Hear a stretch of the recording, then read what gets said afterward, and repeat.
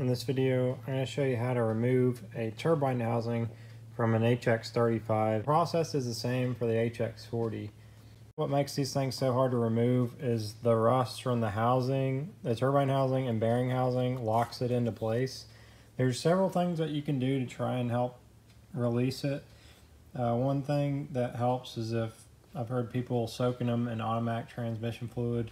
Some people say you can soak them in PB Blaster or to heat it up with a torch. All those will work pretty good, but you don't really have to do that. So I'm just going to show you how to remove it without having to soak it. The bolts came out pretty easy. Sometimes I do break off in there. Sometimes they strip out so bad to where you can't get a wrench on them, so you just have to cut them off. The size for the bolts is a 13 millimeter. If you use the open end, you're much likely more, uh, much more likely to strip it. So make sure you use the boxed end. The best thing to do is get you a really big hammer. You don't have to hit it very hard. You just really just need the mass. So this is how long the hammer is that I'm using on this. And I'll show you how easy or how difficult this is going to come apart using this. We just want to try and hit it off evenly. So I always just take my foot, put it here to keep it from moving too far.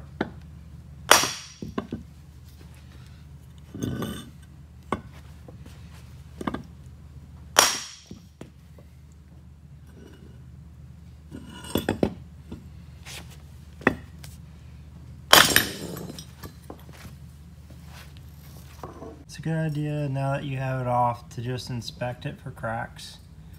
Sometimes the divider cracks and then sometimes it will crack from here back. Also, if you're struggling to remove the bolts, either on this side or the other side, it's really just the same procedure. I just take a, a, the 13 wrench with the box end and then I take a smaller hammer and just tap it over to get it broke free. That's all it takes.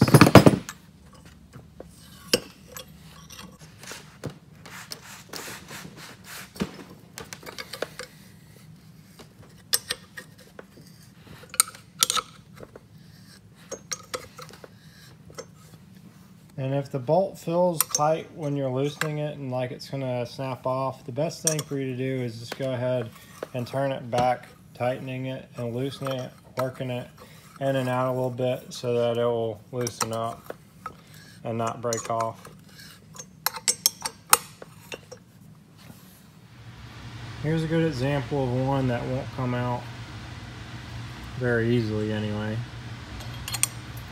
So I've got it loosened up probably about five threads, but it just wants to just stick right there. So the best thing for me to do in this situation is just to heat this area up with a torch and then loosen up the bolt.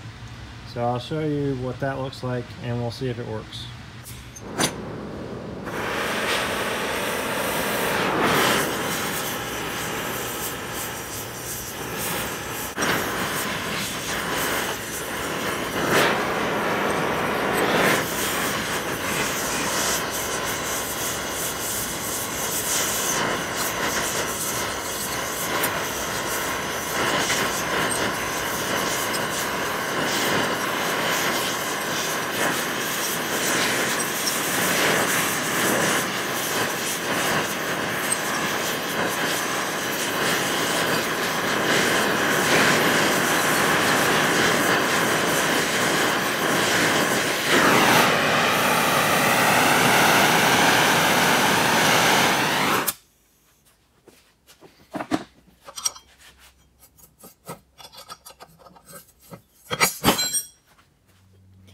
Whenever you remove any of these bolts, make sure you always go back and tap it back out to the chase the threads. This will prevent the bolts from breaking off into the housing next time you go to thread the bolts back in because if they're having issues being tight now, by the time you work the bolts in and get them back on, get them bolted back in and on the truck, then it's more likely that the bolts are going to all break off when you go to remove them the second time, if you ever have to remove them again. Also, it makes it so much easier for the bolts to go back into the threads when you tap them out beforehand. So the thread pitch on these is 8 millimeter by 1.25 and that's the same on this flange and the other flange where the bearing housing mounts.